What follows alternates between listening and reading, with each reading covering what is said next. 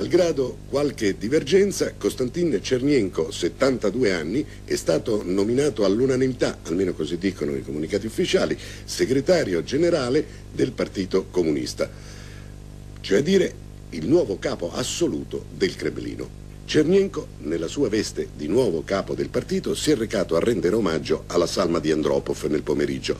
Lo accompagnavano gli altri 11 membri del Polibiro, tra i quali Tikhonov, il presidente del Consiglio, il quale stamane, di fronte al comitato centrale del partito, aveva proposto appunto Cernienko come successore di Andropov.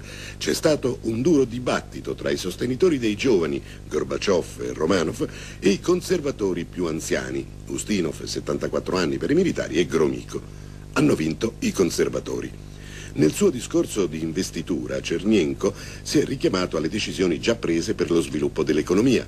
Ha reso omaggio alla figura di Andropov, ma sembra lo abbia implicitamente criticato, affermando che il suo solo desiderio di seguire una via di sviluppo è insufficiente e che oltre a porre obiettivi giusti bisogna agire conseguentemente e con visione realistica dei risultati.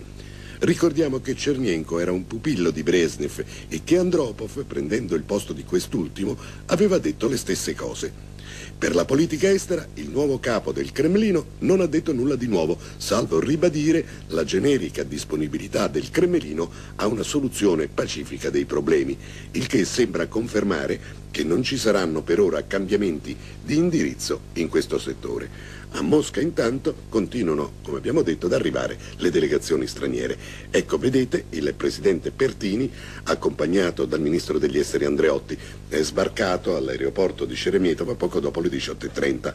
Il presidente ha sopportato bene il lungo viaggio e ha espresso il desiderio di recarsi a deporre la corona italiana davanti alla salma dello scomparso.